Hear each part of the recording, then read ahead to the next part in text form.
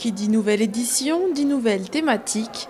Cette année, les organisateurs, l'association Alsace Cardio et l'Alliance du Cœur ont choisi le diabète pour une raison particulière. Malheureusement, l'Alsace fait partie des régions les plus touchées par ce, ce facteur de risque, est le diabète. Et en plus de ça, pour nous, les malades cardiovasculaires, nous avons énormément de malades qui ont eu à l'origine ce facteur de risque, le diabète. Le diabète préconise justement, amène les gens à avoir des, des pathologies, à avoir des accidents cardiovasculaires.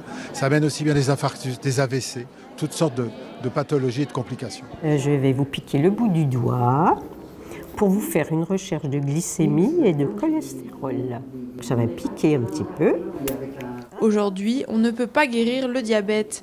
La meilleure solution est alors de le prévenir en se faisant dépister. Plus le dépistage est précoce, plus la prise en charge est facilitée et les complications diminuées.